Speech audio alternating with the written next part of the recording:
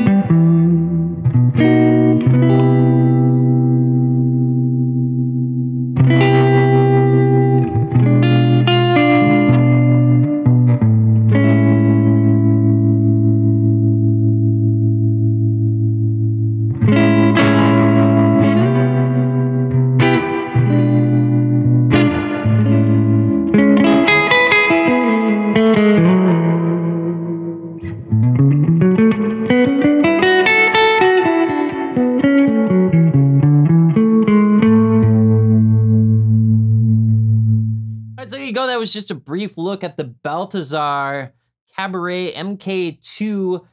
I'm standing by the sexiness of this amp. Not only does it sound sexy, it looks incredibly sexy. You have this like gator skin Tolex on it. It's super, super cool with the gold hardware and everything. It's just, I mean, like all around, this amp is just sheer class all the way around, inside and out. And so I am a huge fan. So thanks for sending this over for me to check out.